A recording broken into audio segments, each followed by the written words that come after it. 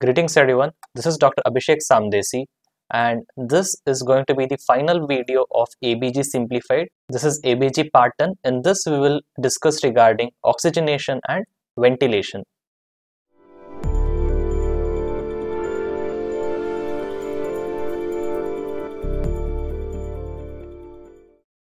So let us have a look at the contents that we will be discussing on. So we will discuss regarding the respiratory failure.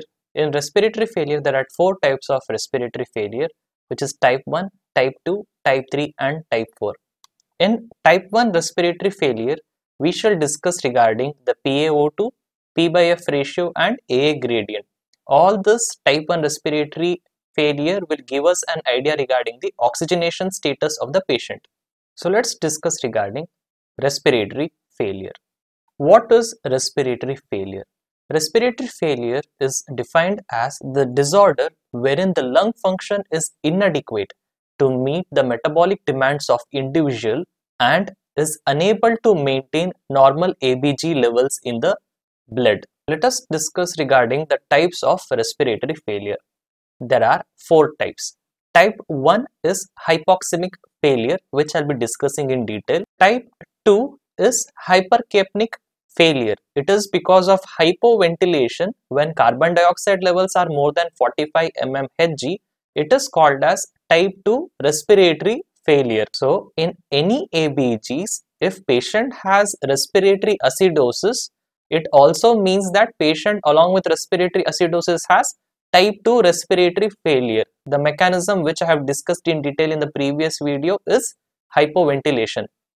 The next type is type 3 respiratory failure where the etiology is post-operative. It is wherein the PaO2 is less than 60 mmHg after procedures, the most common cause being post-surgical segmental or subsegmental collapse. The last one is type 4 respiratory failure wherein the PaO2 is less than 60 mmHg secondary to any type of shock. Now, let us discuss in detail regarding type 1 respiratory failure.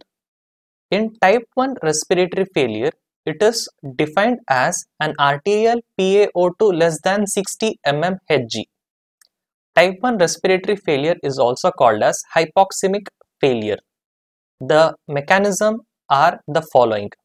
It can be due to decreased inspired oxygen as in case of high altitudes Other cause is because of hypoventilation as seen in patients with COPD or bronchial asthma and all the other hypoventilation causes which I have mentioned prior. But so any hypoventilation resulting in only hypoxemia but no hypercapnia would be still under type 1 respiratory failure.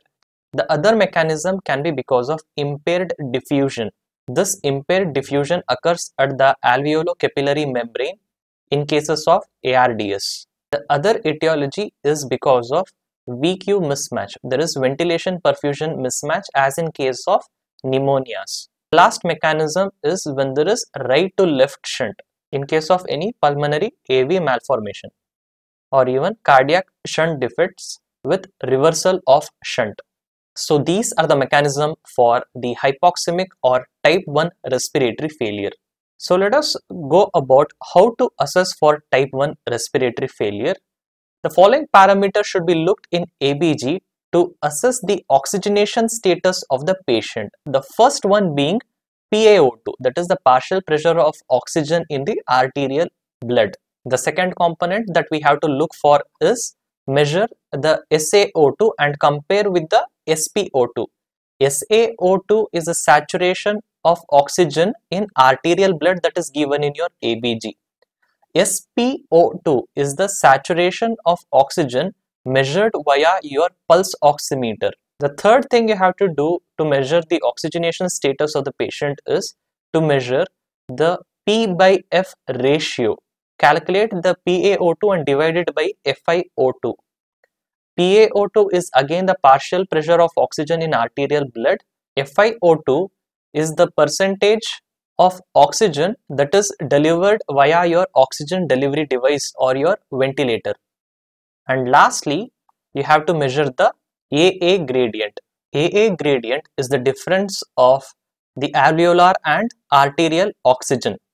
This gives us an idea regarding any underlying diffusion defect. So these are the parameters that you are supposed to measure in any given ABG. Let us discuss regarding this one by one. The first one being the PaO2. The normal PaO2 is 80 to 110 mm Hg. Whereas if it is less than 80 to 60 it is called as mild hypoxemia. You will call it as moderate hypoxemia when the PaO2 is between 60 to 40 mm Hg and you will call it as severe hypoxemia when the PaO2 is less than 40 mm Hg. The next thing that you have to measure is the SaO2 and compare with the SpO2. Normal SaO2 is usually more than 96. Mild hypoxemia is when the SaO2 is between 90 to 95%. You will call it as moderate hypoxemia if the SaO2 is less than 90%.